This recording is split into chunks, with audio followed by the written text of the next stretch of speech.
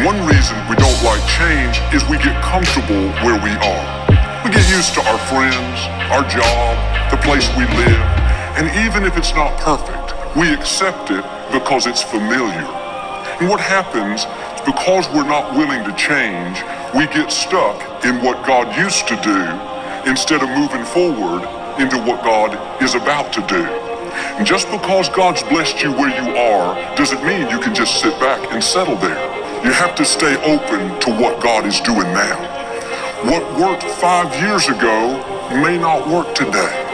If you're going to be successful, you have to be willing to change.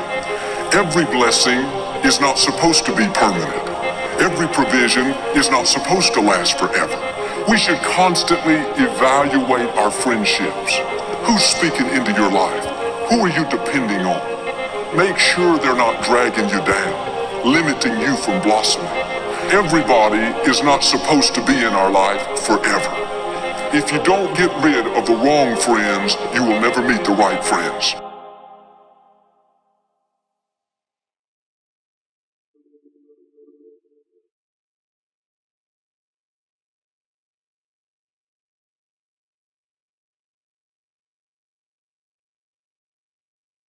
So let's talk about what life is. You know, Buckminster Fuller said that life is anti-entropic. See, in the universe, you have the second law of thermodynamics. You have entropy everywhere. Entropy is breaking everything into its simpler constituents.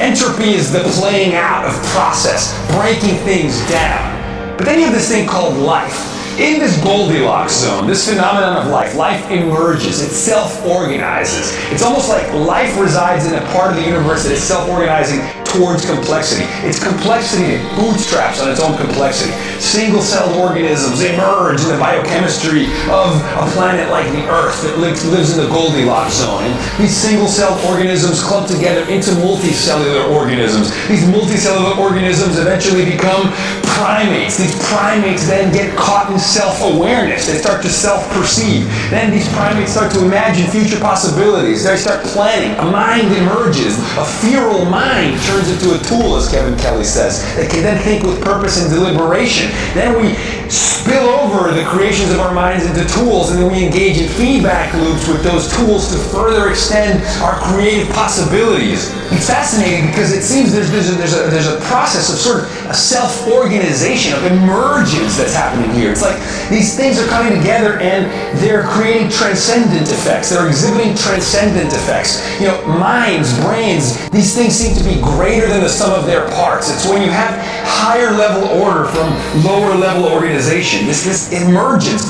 You know, when birds enter swarms, there's no leader. There's nobody telling all the other birds how to get into these formations, but it seems to be self-organizing. And we know that we are made of atoms. Those atoms turn into, clump together into cells. The cells clump together into organs, and those organs clump together into us. And then we create tools and we wire each other mind-to-mind communication. We create a Gaia global brain. This global brain itself, part of the, the biological global grid nervous system of nature. And those two things, breathing, thinking, the thinking stratum of the universe, the universe wakes up.